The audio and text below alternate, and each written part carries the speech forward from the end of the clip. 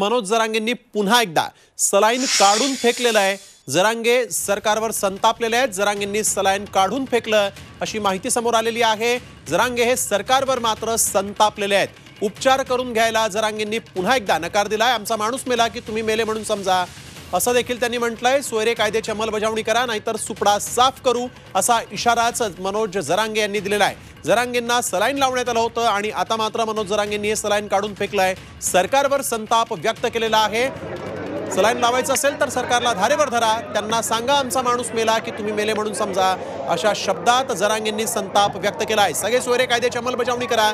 अन्यथा तुमचा सुपडा साफ करून टाकू असा इशारा देखील मनोज जरांगेंनी आहे जरांगे हे सरकारवर संतापलेले आहेत. काही वेळापूर्वीच त्यांची प्रकृती खालावल्यामुळे त्यांना सलाईन लावण्यात आलं होतं. नारायणगडाचे महंत शिवाजी महाराज इथं आले होते. त्यांनी मध्यस्थी केली होती आणि यावेळेस शिष्टाई केली होती. त्यांना उपचार घेण्यासाठी तयार केलं होतं. परंतु आता पुन्हा एकदा मनोज जरांगेंनी सलाईन काढून फेकलेला आहे आणि उपचार करून घेण्यासाठी नकार दिलेला आहे. परंतु लोकांनी देखील आक्रोश केला. जरांगेंनी उपचार करून घ्यावे अशी मागणी देखील करण्यात आलेली आहे. तर जरांगे मात्र उपचार करून घेण्यास नकार देत आहेत आणि त्यांनी सरकारवर संताप व्यक्त केला आहे. मला गाडीत टाकून मुंबईला न्या फक्त एक जण सोबत द्या बाकीचे सोबत आले तर सरकार त्यांना अडचणीत आणेल असं देखील मनोज जरांगेंनी म्हटलंय. नितेश महाजन आमचे प्रतिनिधी आपल्याबरोबर फोन लाईनवरून जोडले गेले आहेत नितेश नेमकं काय घडतंय? आज मनोज जरंगे यांच्या नाकातून रक्तस्राव झाला होता आणि त्यानंतर बीड जिल्ह्यातील नारायणगडचे शिवाजी महाराज या ठिकाणी आले होते आणि त्यांच्या पुढाकाराने जरांगे पाटलांना छत्रपती संभाजीनगरचे जे डॉक्टर आहेत जे नियमित जरांगे यांच्यावर उपचार करतात त्यांच्या पुढाकारातून सलाईन लावले होते. दोन सलाईन जरांगे पाटील यांना बळजबरीने लावण्यात आले. मात्र तोपर्यंत ते झोपेत होते.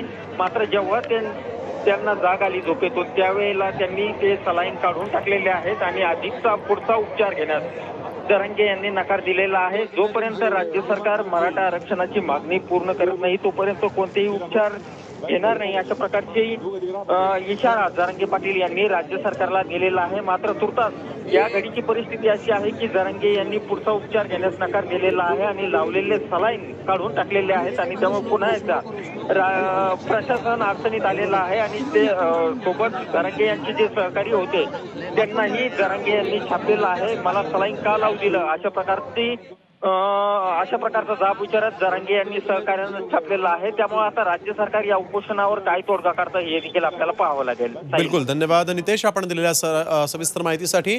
तर जरांगेंनी पुन्हा एकदा उपचार करून घेण्यास नकार दिलेला आहे. सलाईन जे लावलं होतं ते देखील त्यांनी काढून फेकून दिलंय आणि सहकाऱ्यांवर देखील त्यांनी संताप व्यक्त केला आहे